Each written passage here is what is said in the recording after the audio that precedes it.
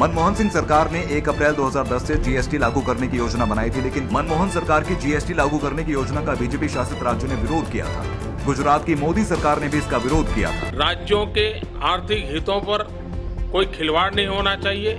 GST जिसको गुजरात और मध्य प्रदेश की सरकारों ने रोका कहा हमारा नुकसान हो जाएगा। आपकी सरकार ने एक के बाद एक यू टर्न किए जीएसटी को आप पहले विरोध कर रहे थे अब आप उसको लाए।